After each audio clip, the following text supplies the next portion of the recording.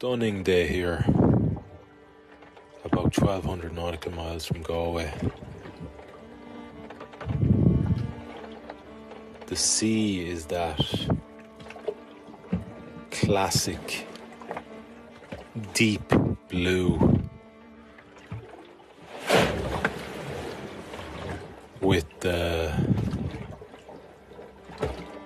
sun glimmering off it all day.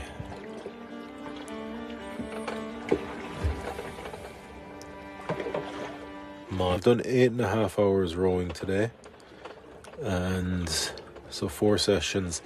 The last session I came off about half an hour ago, and um, I did two and a half hours, and I stayed on an extra half an hour just because it was so. It was just running so well, um, and it was literally no stress.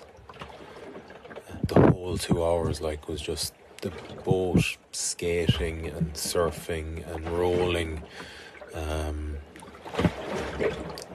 through these waves pushing north east, so pushing towards Ireland.